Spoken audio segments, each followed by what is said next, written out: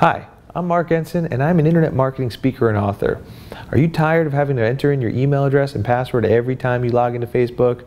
Well, let me show you how easy it is to stay logged in so every time you go to facebook.com, you're automatically logged in. The next time you log into Facebook, enter in your username and password and be sure to click the Keep Me Logged In box at the bottom and then click Logged In.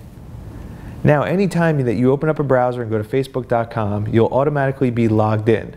Just keep in mind that anybody that uses this computer will have access to your Facebook account.